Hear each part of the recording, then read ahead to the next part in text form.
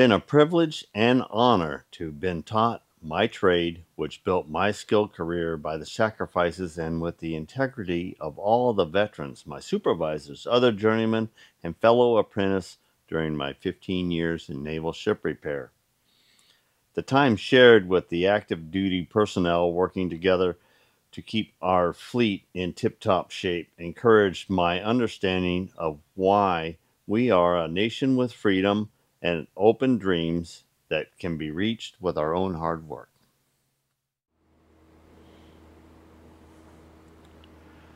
Ladies and gentlemen, welcome to my job shop. My name is Keith, and I'm here repairing America one project at a time or building something new like the radar mast that we got set up here now on the milling machine.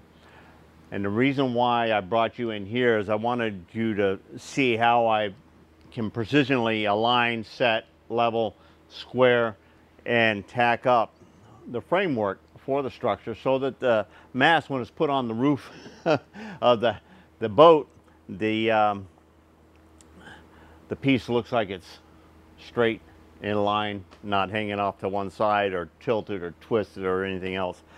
Before I brought this base in here and started assembling it, I brought my level over and double checked, made sure that the milling machine was still uh, level from the time that we put it here on the floor and set it up.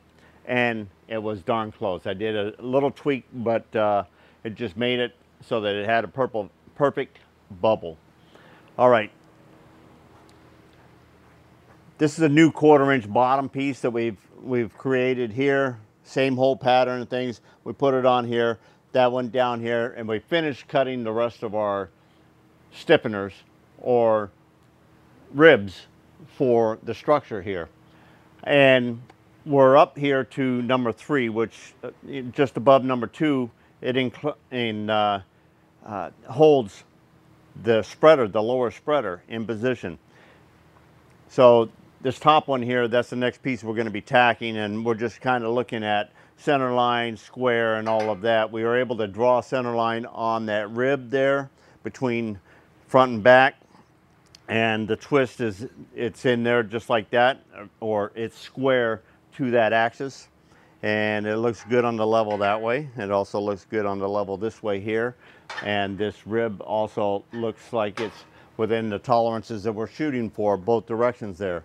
So we're gonna we're gonna go ahead and tack that one and we're gonna move on up until we get to the upper um, arm here since we did the spreaders in the last video, um, I dressed off the ends and then knocked off the keeper rings on the end because when I, I'm not gonna weld this in here just yet and if I wanna move it or whatever, I wanna be able to pull it out and those pieces kept it from going past here because they were a little bit fatter on the, on the, around the large tube there. Um, everything else is looking good. I've got a plumb bob string down here and a square off the table. So I'm actually eyeballing the square with even in the center of the T-nut slot here, this blue laid out line that's in our center, which is in the center of the T-nut slot there, and the string hangs from the center of the line here, and I eyeball all three pieces up there. It was slightly off to that side, and I had to do a little bit of tweak, so I did have to move it, and I am controlling it, and I'm keeping an eye on it, and that's kind of keeping my vertical in line this way here. Uh, level and square we'll keep it off that direction there. All right, we're gonna get back to it. I just wanted to bring you in, show you how I was setting this up and how I was working it. In the last video, people made comments of how am I cleaning my aluminums and everything else. Uh, and of course, I have, and you look at my earlier videos where I'm doing a welding, like on the spool, center spool uh, fitting for the hydraulic crane that I've rebuilt and everything else. I, I do talk that I clean things with acetone. I didn't really think that you guys needed to see that I actually clean with acetone, um, but that's how I do keep the oil and whatnot off of there or remove all the die printing that's on the plates and stuff like that. It kind of does it all in one shot. But yes, I do wipe down. I make sure that all my uh, welding areas are oil free. And uh, just like I dross free. You know, that dross from the plasma cutter um, also will make a weld dirty. Just like on the lathe when I'm welding on the mill, I put the clamp right on the part or the chuck that's holding the part. Right now it's clamped to the toe clamp that's holding the part down to the table.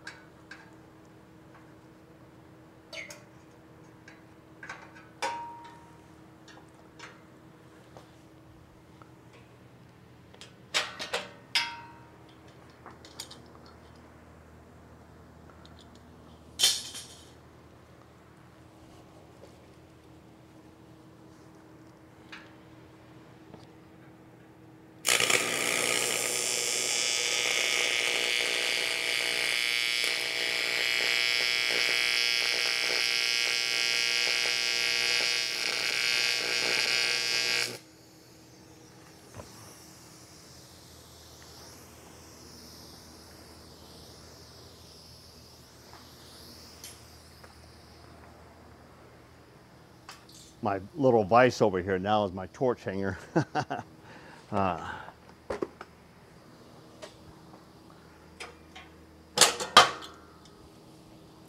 I just want to see. Okay, that's still that holds it in there nice and firm. I like that. No place or no wiggle room to go in there. And we're going to finish. We're going to start going on up there. Before I decide to tack and weld this one in, I want to have both of them in place before I do that.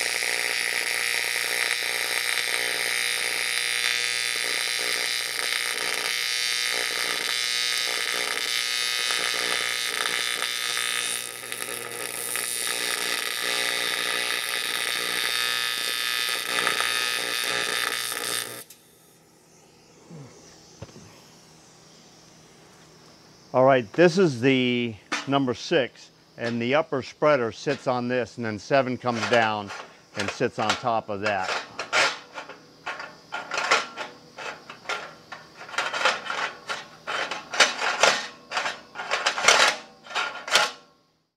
I now have brought both, this is the second spreader, this is the top spreader here.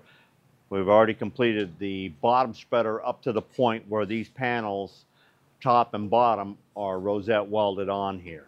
Now I've got these two here to rosette weld on this side here. But I want to bring you in so that you can see the penetration we're getting on the rosette welds on the underside. And then we'll give you an example of rosette welding these in from the outside. Okay, it's probably going to just work as well with me holding this up here. Um, there, there, there, and a little one there. Every one of them shows signs of penetration, but these ones right here in the center really kind of show you the grab, the rivet style head on there showing you the grab of the penetration we're getting from the top side. Zoomed in on one rosette that we're gonna weld and fill. And you're gonna see me hold the arc and I'm gonna hold it until it actually rolls the top plate down in and merges with the lower plate.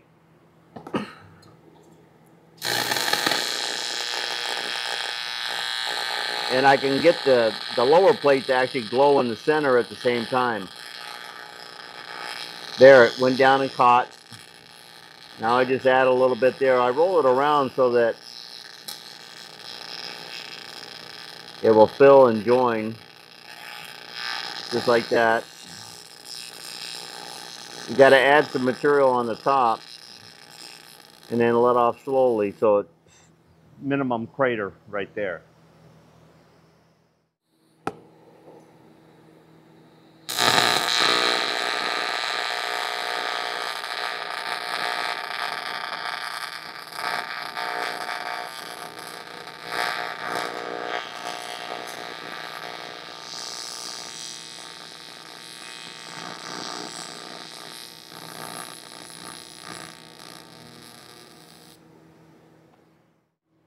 Played around and it doesn't, we did the first one here, the second one here, but I played around, you know, picking and choosing where I wanted to have them uh, or the order. And I don't really believe it makes a difference on any of the orders.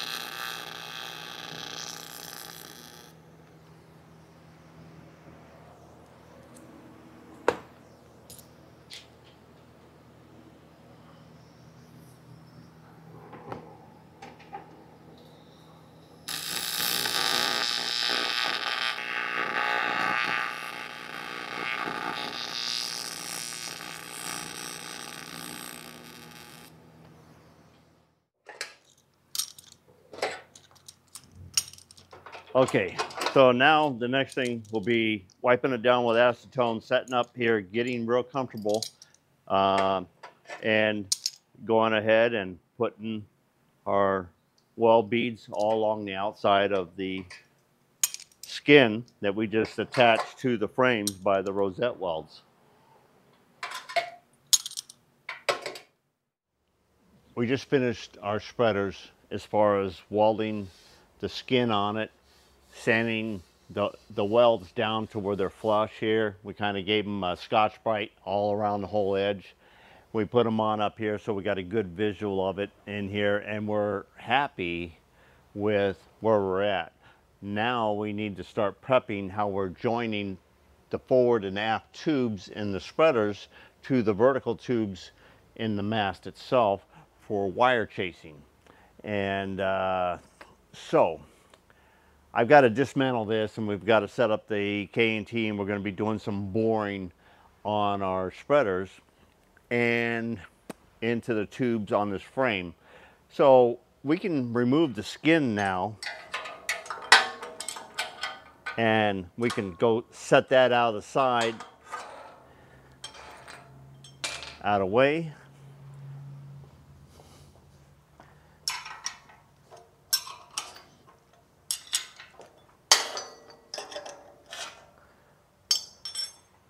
And this should just lift off now, right?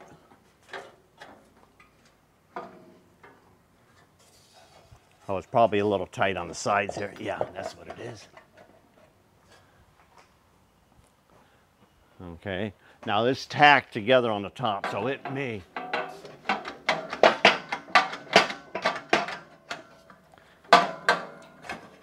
Okay, I got it loose there. See if we can get this side here loose.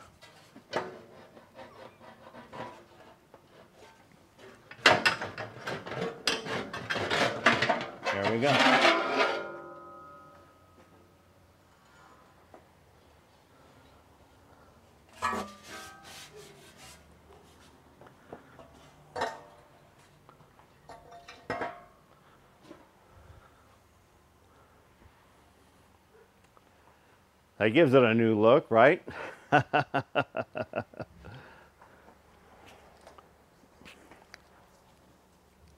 so we'll be coming across here with a straight tube and we'll be coming across here with a straight tube and then we're going to have an exit on this back side here because we're going to have an anchor light coming up like this and we got to have an access tube here and then that tube's going to pass all the way through here because our array sits out here on a platform with an 8 degree tilt. It's what uh, customers requested. And then either in line with this or slightly above this, I'm going to have another tube access here because we're going to have the Starlink up above the swing of the boom on the array.